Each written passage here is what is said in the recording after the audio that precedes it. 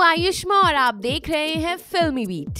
सोनू निगम द्वारा अजान से सुबह सुबह नींद में खलल पड़ने पर किए गए ट्वीट्स ने सोशल मीडिया पर विवाद खड़ा कर दिया है। पिछले दो दिन से प्लेबैक सिंगर सोनू निगम को अपने इन ट्वीट्स के चलते मुस्लिम विरोधी माना जा रहा है। लेकिन फिर हाल ही में ट्वीट करते हुए सोनू निगम ने कहा कि उन्होंने मुस्लिम विरोधी कोई बात नहीं कही है। सोनू निगम ने अपने ट्वीट में मस्जिद में लाउड स्पीकर के इस्तेमाल पर टिप्पणी की थी। सोनू ने अपने नए ट्वीट में कहा है कि अगर कोई ये साबित कर दे तो वो माफ़ी मांगने को भी तैयार है। सोनू निगम ने ट्वीट किया प्रिय लोगों, जो भी ये प्रचारित कर रहा है कि मेरे ट्वीट्स मुस्लिम विरोधी हैं, वो एक भी जगह ऐसी बात बता दे जहाँ मैंने ऐसा किया है।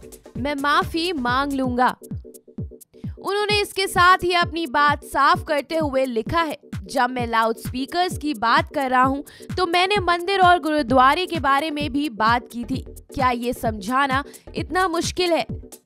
दरअसल आपको बता दें कि सोनू निगम ने सुबह एक के बाद एक चार ट्वीट्स किए जिसमें उन्होंने मस्जिद में रोज सुबह लाउड स्पीकर पर बजाने वाले अजान को शोर बताया और कहा कि अजान की वजह से रोज उनकी नींद खराब होती है। हालाँकि उन्होंने ये भी साफ़ किया है कि उन्हें मंदिरों और, और गुरुद्वारों द्वारा भी तेज आवाज़ में गाने बजाकर लोगों को उठाना भी पसंद नहीं है। सोनू ने लिखा कि अपने धर्म को मनवाने के लिए ही इन मंदिरों मस्जिदों के संचालक ऐसा करते हैं। उन्होंने इसे गुंडागर्दी बताया था। आपको बता दें, बॉलीवुड भी सोनू की इस बात पर दो अलग अलग हिस्सों में बटा नज़र आ रहा है। सोनू निगम की बात, जहाँ संगीतकार वाजिद खान को अच्छी नहीं लगी तो वहीं एक्ट्रेस रिचा चड्डा ने सोनू की बात को समझने की अपील की है।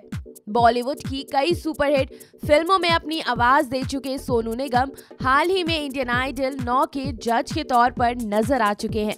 सोनू ने सचिन तेंदुलकर के एल्बम क्रिकेट वाली बीट में भी काम किया है। फ़िलहाल इस वीडियो में इतना ही।